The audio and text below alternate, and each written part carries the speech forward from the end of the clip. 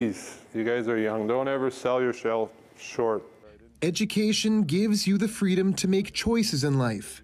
That was the message Gino Odjick made sure he gave to kids who would listen. We were two little old Indian boys who grew up in the res. You know, if we can do it, why can't you?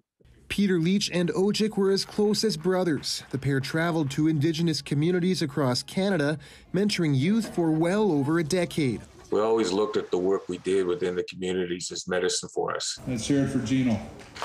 What started as workshops on sports evolved into something much bigger. A young lady we met at 13 years old.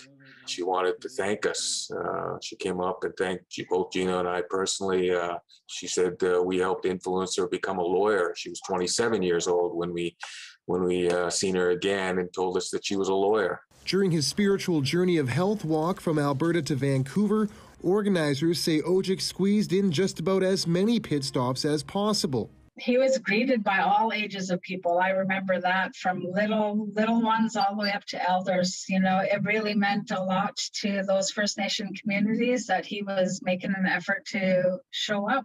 Many of the kids he met would eventually take to the ice, including current Vancouver Canuck Ethan Bear, who called Odjick a mentor. Cross Bear scores! And scored this goal shortly after he died. His style of play was pretty unique, and I think that gave a lot of um, a different mentality to our youth. It's like, okay, uh, like some youth may not or know they're not like a goal scorer, but they know they can still make it to the NHL playing that type of style. On Monday, the outpouring of love and remembrance continued. He's a hero to many uh, people, many hockey players, and it was very sudden. You know, he showed a lot of courage.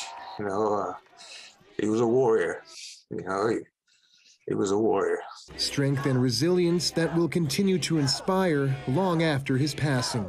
John Hernandez, CBC News, Vancouver.